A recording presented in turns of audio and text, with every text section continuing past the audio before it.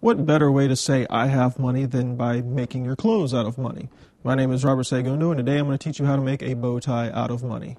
What we're going to do is we're going to start off with a dollar bill, but if you're a high roller, you use a Ben Franklin instead of my George Washington here. And what we're going to do is we're going to take him, fold him over like this, in half like so.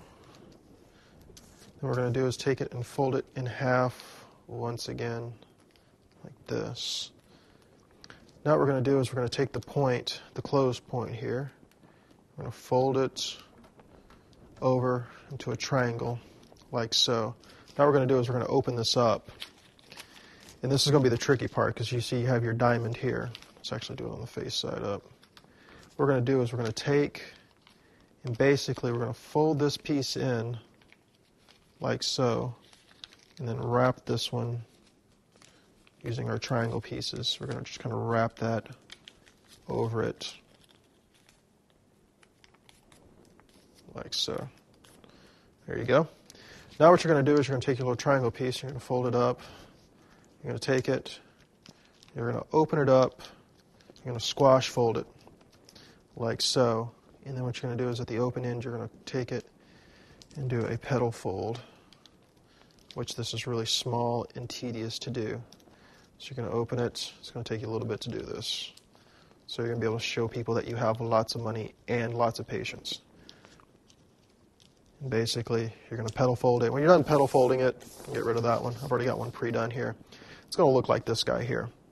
So now what we're going to do is we're going to take our dollar bill and we're going to fold this leg over like so into the center like so.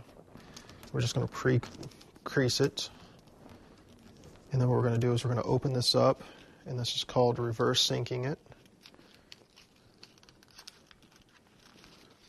Like so.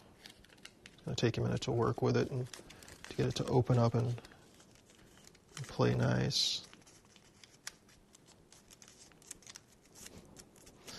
There you go. And do the other side as well. Fold it over, sink it. And reverse sink it like so. And then what you're going to do is you're going to flip the sides over. Now make sure you petal fold it on both sides. I've done both sides here. You're going to fold it over like this to the flat side and you're going to open it up. And then what you're going to have left is this point here and what you got to do is you got to squish this point down, which I've already done here. And there you have it, your dollar bill bow tie. Wear your money and be proud.